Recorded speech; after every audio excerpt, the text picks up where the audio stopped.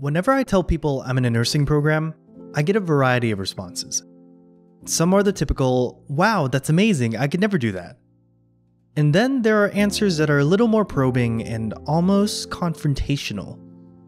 Ultimately, someone asks something like, why not be a doctor instead?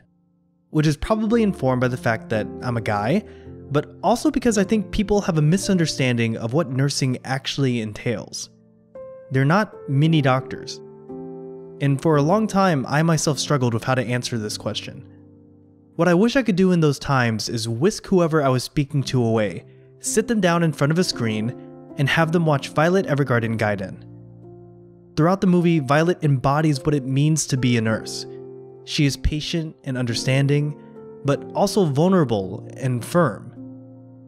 As a nurse, you are the patient advocate, there to represent their best interests and well being and Violet fits this definition to a T.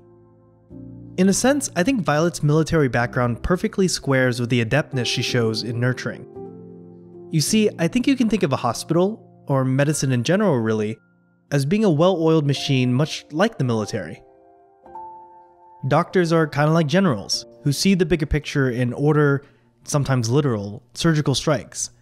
There are a number of support services, like pharmacists, that make sure supplies are headed to where they're needed. But if medicine is a war on sickness, nurses are on the front lines. They are the first and last point of contact, and, well, everything in between. To be a nurse is to be deep in the trenches, using specialized knowledge in a fast paced environment, helping someone directly in front of you that you can touch with your hands. By the time we see Violet in Gaiden, she has suffered through her own troubles and come out on top of them. She still harbors some pain, of course, and may do so indefinitely. But she has already passed one hurdle of being a great nurse, and that is taking care of yourself. You cannot enter a profession of caring for others while also neglecting your own physical and mental health, and it is one reason why nurses experience such high rates of burnout. Much of Violet Evergarden, the series, is Violet overcoming her own troubles and realizing her capability to help others in the process. This new Violet is well equipped to face her daily responsibilities and has developed the ever so crucial skill of empathy. But in Gaiden, she faces a new challenge. In the past, a request to mentor a prospective debutante would have been an impossibility for young Violet, but in a manner we are now well accustomed to, Violet graciously accepts, to the bewilderment of her fellow memory dolls. She embarks on her journey to an all girls academy to meet Isabella York. However, Violet is not greeted with the warmest of reception. Her initial introduction is met coldly, and Isabella straight up tells her, I don't want to be friends, you seem like a snob. Violet's reaction is the next indicator of good nursing, in that it is no reaction at all. She doesn't take it personally.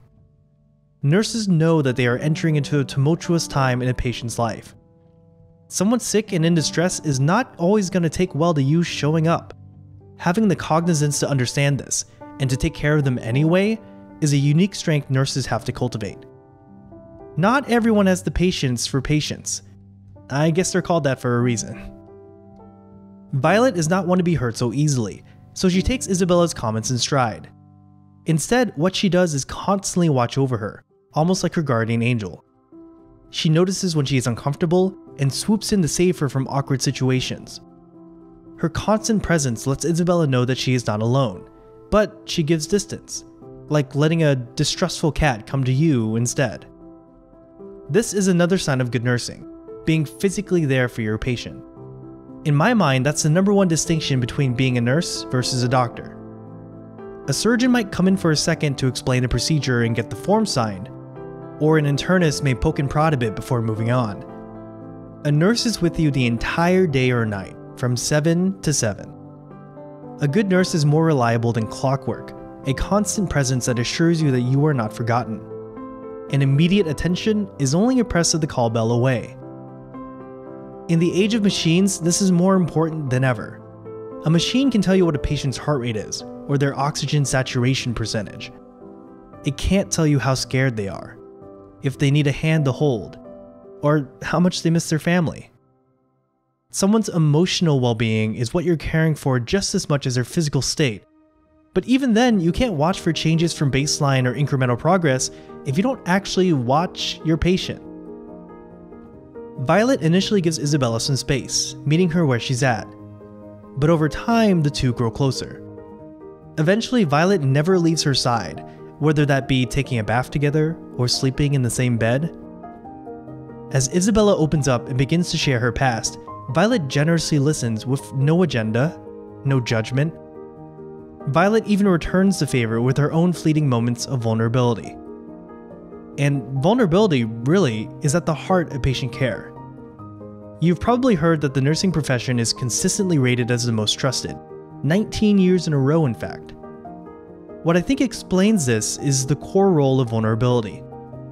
Researcher Brene Brown believes it to be a fundamental necessity for human connection, and it's the subject of her wildly popular TED Talk. She found that those who were the most wholehearted, those who displayed the most courage and human connection, were also those most willing to be vulnerable. And where are we more forced to be vulnerable than laying in a hospital bed? Naked under a thin hospital gown, through illness exposed for the world to see. In that sense, nurses have a great responsibility, and hopefully that most trusted designation indicates that that responsibility has been thus far upheld. In the movie, Isabella talks about how she feels trapped, and dancing is used as a metaphor for freedom.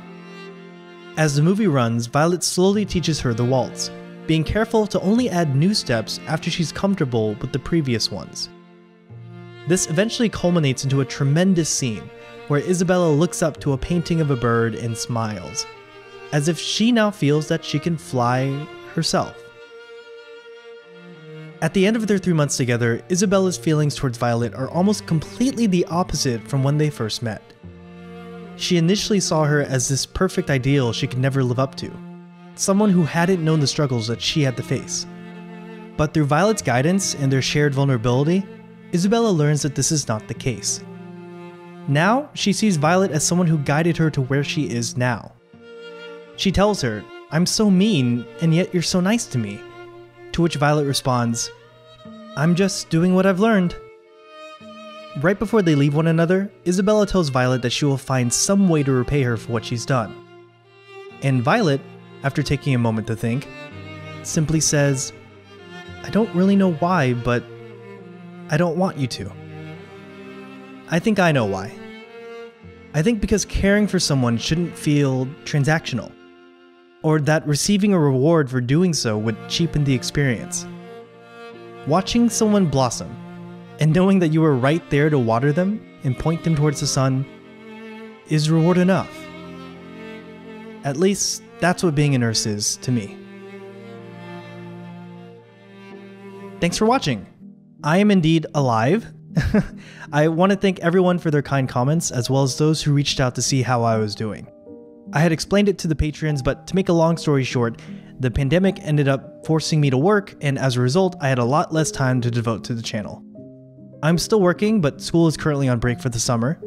Speaking of school, I graduate this December. uh, I'm nervous, but excited to join the throngs of those on whom we relied upon so much throughout our shared ordeal.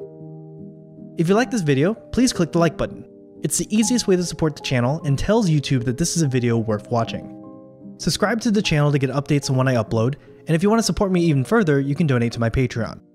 Special thanks to Jawthirst, the Scourge of Potters, Mr. Hers Fellow Sovereign, Your Lollymore, Anime Sucks, Ben Saint, Gamerquake, and Instant Runoff Voting On for their support. And of course, if anything I said was wrong, I'm sorry. I must have stuttered.